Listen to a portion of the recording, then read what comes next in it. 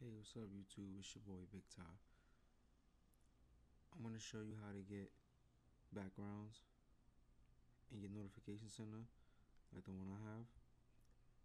First you do, go to Cydia.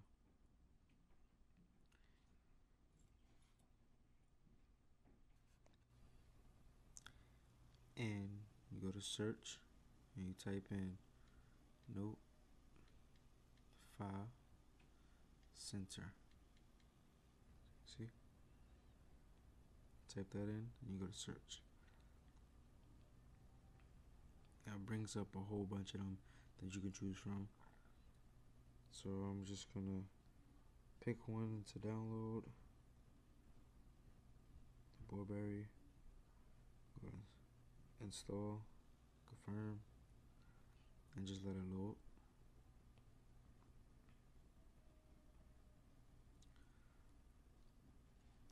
And once it finishes loading you just come out here go back to the home screen. And then you would and then you would go back to the home screen like I said and go to settings.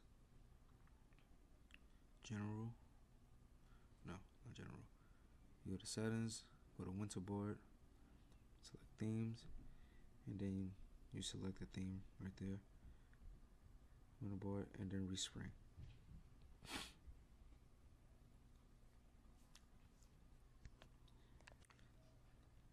Once it finishes respringing slide down lock and put your notification center down. And that's how you would get notification backgrounds If you like this video and you want to see more videos like this, please hit the subscribe button at the top, like, comment down the bottom, and peace.